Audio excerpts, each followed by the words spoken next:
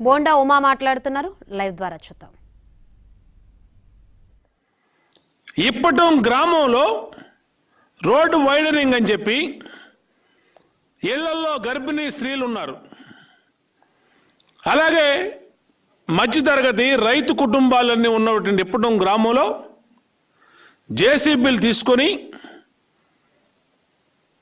కాళ్ళ వేళ్ళ ప్రాధేయ పడుతున్న లాఠీ ఛార్జీలతో లాఠీలతో కొట్టించి ఇళ్ళని కూల్పిస్తారా మీరు? ప్రతి శుక్రవారం శనివారం వీకెండ్ అంటేనే జేసీబీలకి పని కల్పిస్తున్నాడు జగన్ రెడ్డి.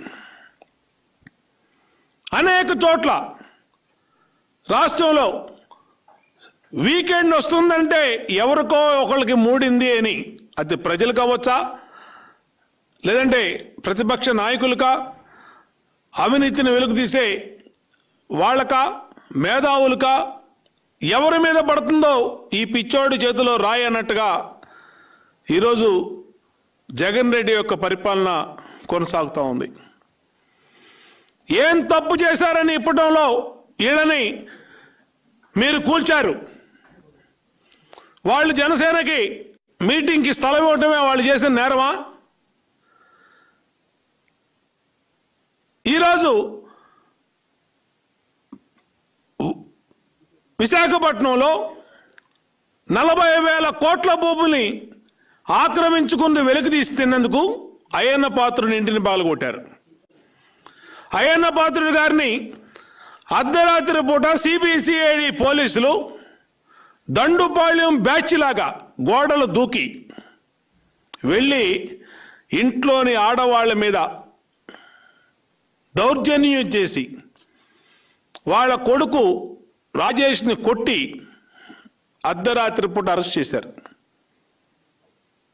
అంటే మీ అరాచకాలు ప్రజలు చూడకూడదని అర్ధరాత్రి పూట్ల ఈ కార్యక్రమాలు తీసుకుంటా ఉన్నారు. ఏ నేరం చేశారని ఇవాళ ఈ ఈ కార్యక్రమాలు చేస్తున్నారని ఈ ప్రభుత్వాన్ని నిలదీస్తా ఉన్నాం. అమరావతికి భూ భూములు ఇచ్చినటువంటి రాజధాని కోసం భూములు ఇచ్చినటువంటి రైతులమో బూటుకాళ్ళతో కొట్టారు.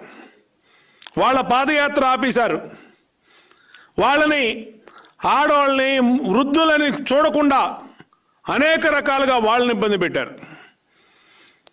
జనసేనకి బహిరంగ సభకి సెలవు ఇచ్చారని వాళ్ళ మీద దాడులు చేశారు. మీ అవినీతిని ప్రశ్నించాడని అయ్యన్న పాత్ర గారు ఇల్లు పగలగొట్టి ఆయన సొంత స్థలంలో అనుమతి లేకుండా గోడ కట్టారని బాత్రూమ్ అంతా. బాత్రూమ్ అంతా గోడ కట్టారని ఆయన్ని అక్రమ కేసులు పెట్టి అరెస్ట్ చేస్తే ఏ విధంగా కోర్టులు తీర్పులు ఇచ్చినాయో చూసాం అంటే మీ అరాచక విధ్వంసకర పరిపాలన అడ్డగోలుగా కొనసాగుతూ ఉంది. జగన్మోహన్ రెడ్డి మేనమామ రవీంద్రారెడ్డి కమలాపురం రవీంద్రారెడ్డి ఎమ్మెల్యే. వక్తు బోర్డుల్లో సినిమా హాల్ కట్టాడు ఆయన. సినిమా హాల్ కడితే ఆ సినిమా హాల్ ముస్లింలకు చెందినటువంటి వక్తు బోర్డు ఆస్తుల్లో కమలాపురంలో కడప జిల్లాలో సినిమా హాల్ కడితే దాన్ని ఎవడూ పట్టించుకోడు. వైసీపీ నాయకులు నదుల పక్కన చెరువుల పక్కన భూములను ఆక్రమించుకొని ప్రభుత్వ భూములను ఆక్రమించుకొని కడితే వాళ్ళు ఎవడూ పట్టించుకోడు. ఇప్పటం అనే గ్రామంలో రోడ్డు వైడనింగ్ అని అక్కడ ప్రజలను ఇబ్బంది పెడతానికి ఈ విధంగా ఒక దుర్యోధనుడు పరిపాలనలాగా ఒక దుశ్శాసనుడికి పట్టిన గతి ఈ ప్రభుత్వానికి పట్టబోతా ఉంది. ఈరోజు రాష్ట్రంలో ఏ విధమైనటువంటి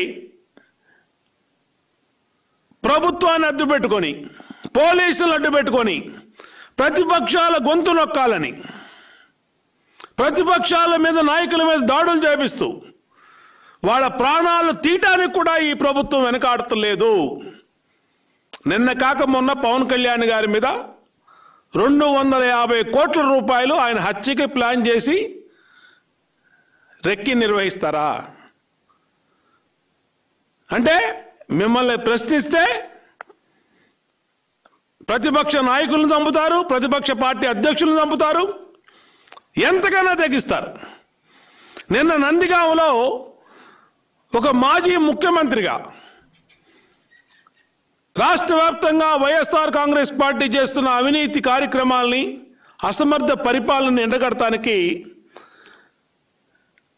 కార్యక్రమం బాదురే బాదురనే కార్యక్రమం తీసుకుంటే యాభై వేల మంది పెద్ద పైన ప్రజలు నందిగామ నియోజకవర్గంలో ఉన్న వాళ్ళందరూ రోడ్ల మీదకి వచ్చి నుంచుంటే అక్కడ ఉన్నటువంటి ఎమ్మెల్యే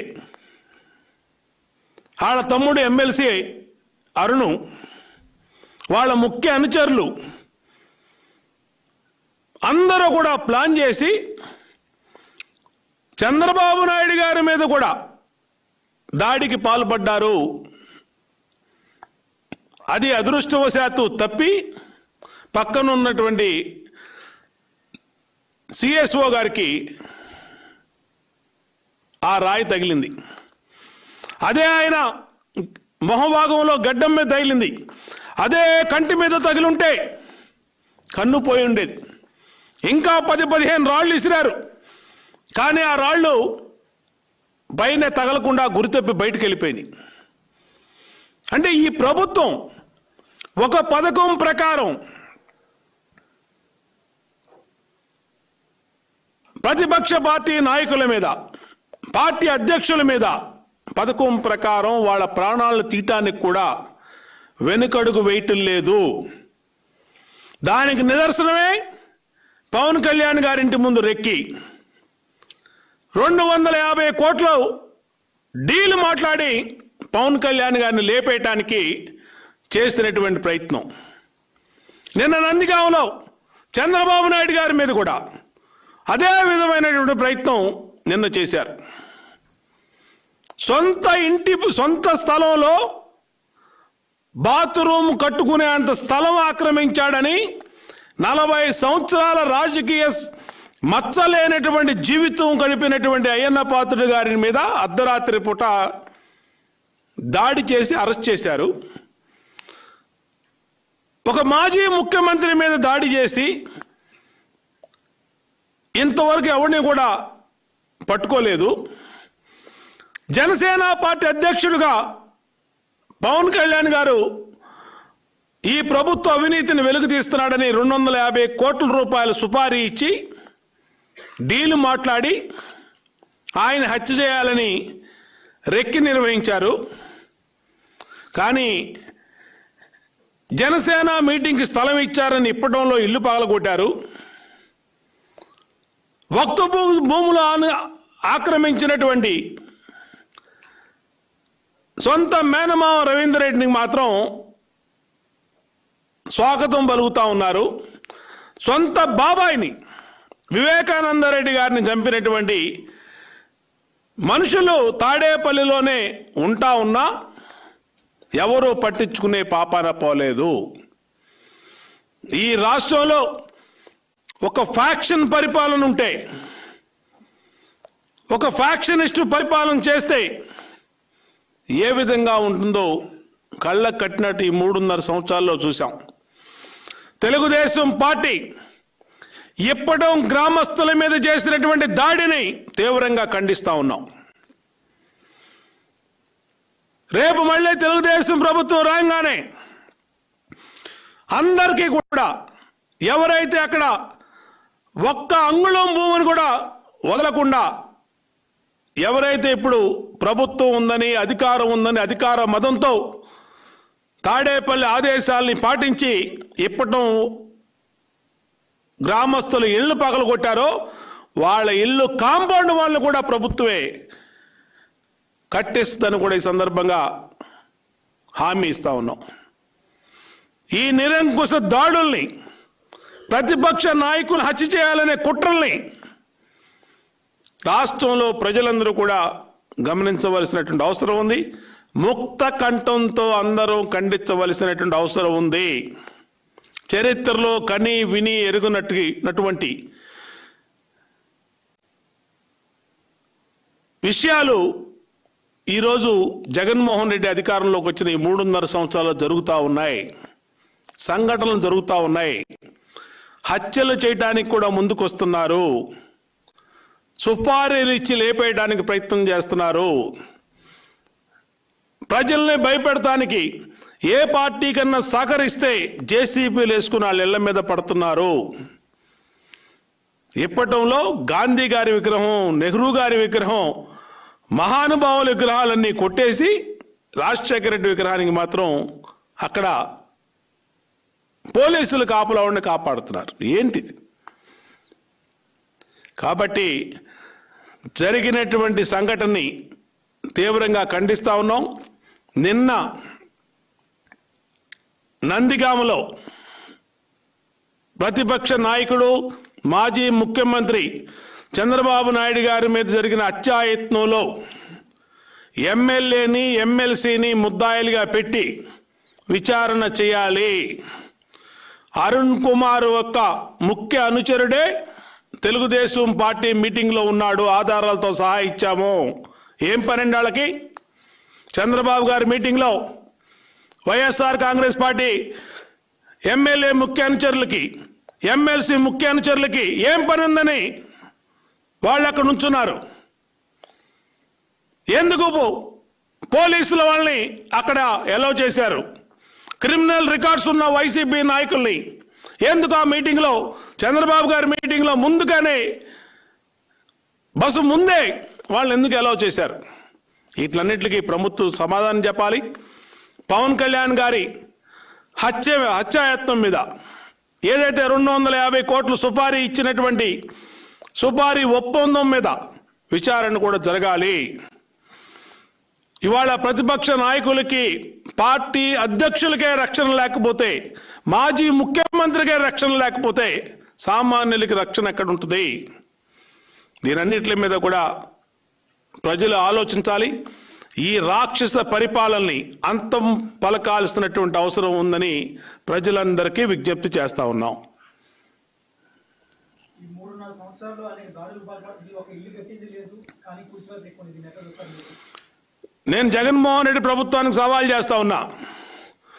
ఇప్పటం గ్రామంలో రోడ్డు వేయటానికి నువ్వు ఇల్లు కూల్చానని రోడ్డు వైడనింగ్కి ఇల్లు కూల్చానని అధికారులు చెప్తా ఉన్నారు నీ పార్టీ చెప్తా ఉంది. ఈ రాష్ట్రంలో ఎక్కడైనా ఒక్క రోడ్డు ఒక్క రోడ్డు మీద గుంత పోర్చడానికి తట్టడి మట్టి ఈ మూడున్నర సంవత్సరాలు ఎక్కడ వేసావా నువ్వు?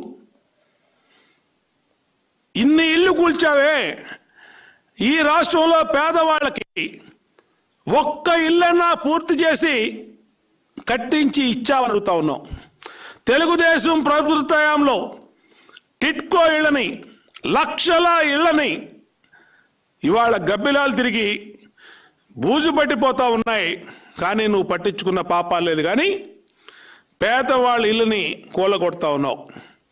రోడ్డు వైడనింగ్లు అంటే లేని రోడ్డు వైడనింగ్లు. పేరుతో ఇవాళ పార్టీలకు సహకరించిన వాళ్ళని ప్రతిపక్ష నా పార్టీలకు సహకరించారని చెప్పి వాళ్ళ ఇల్లు గ్రామాల్లో పగలగొడతా ఉన్నావు. అందుకనేది జేసీబీ పాలన వైసీపీ పాలన అని చెప్పి తెలియజేస్తా ఉన్నాం. ప్రజలకు విజ్ఞప్తి చేస్తా ఉన్నాం. జరుగుతున్నటువంటి దారుణాల్ని గమనించండి. వైసీపీకి సూటి ప్రశ్నలు ఎక్కడైనా ఒక్క రోడ్డు వేసావా? ఒక్క రోడ్డు మీద గుంత పూడ్చావా? ఈ రాష్ట్రంలో పేదవాడికి ఒక్క ఇల్లన్నా కట్టించావా? ప్రతిపక్ష నాయకుడు మీద హత్యాయత్నం చేసిన నందిగామ జిల్లా హత్యాయత్నం చేసిన వాళ్ళు నీ మనుషులు కావురా. నువ్వు ఎమ్మెల్యే మీద ఎమ్మెల్సీ మీద ఏం చర్యలు తీసుకుంటున్నావు? పవన్ కళ్యాణ్ గారి సుపారీ రెండు వందల యాభై కోట్ల ఒప్పందం వెనకాల తాడేపల్లి హస్తం లేదా? ఉంటే ఎందుకు విచారణకు ఆదేశించవు? ఎన్నిట్లకి సమాధానం చెప్పాలి? సమాధానం చెప్పేదాకా విడిచిపెట్టే ప్రసక్తి లేదని కూడా ఈ ప్రభుత్వాన్ని హెచ్చరిస్తాం.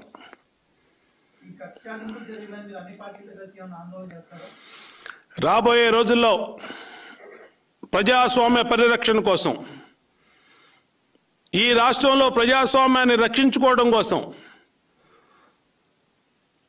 రాజకీయ పార్టీలు మేధావులు అందరం కూడా రోడ్ల మీదకి రావాల్సినటువంటి అవసరం ఉంది. దానికే మొన్న తెలుగుదేశం పార్టీ ఒక పిలుపునిచ్చింది.